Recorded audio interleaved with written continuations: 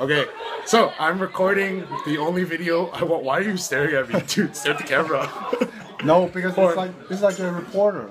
All right. You report. You don't stare at the camera. Then you have to throw This away is the this is footage. my this is the video vlog for Sweden. I just want to give you guys an update now that camp is over. This is this is Eric Liu, who is one of the head responsibles. Yeah, that's me. So uh, how was summer camp? I went great.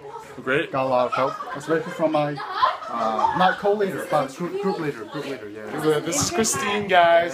This is Mina. Oh, wait, you know her already. But yeah. So okay. So what was your favorite part of summer camp? Uh, Like. Uh, Camera. like, like my favorite part, favorite part is um, a lot of favorite things, but I, I really enjoy uh, the mission team from Boston every year.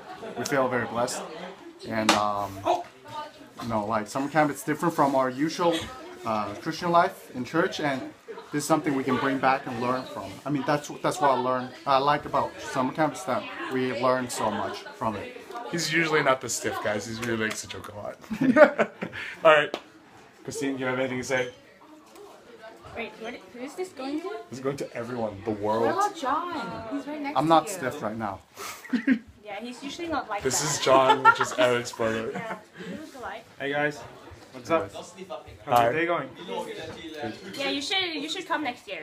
Yes, if you're interested, you get to meet these wonderful Swedish people. I'm not Swedish. I'm, We're all Norwegian. Actually, We're all all Oh, they are Norwegian. Yeah, we have oil. We have oil.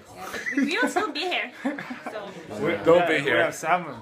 They're they're very good people. Dude, you just offended me by calling me Swedish. Oh my gosh. All right, well, that's the end of this, guys. See you guys later. See you here, Boston. Bye.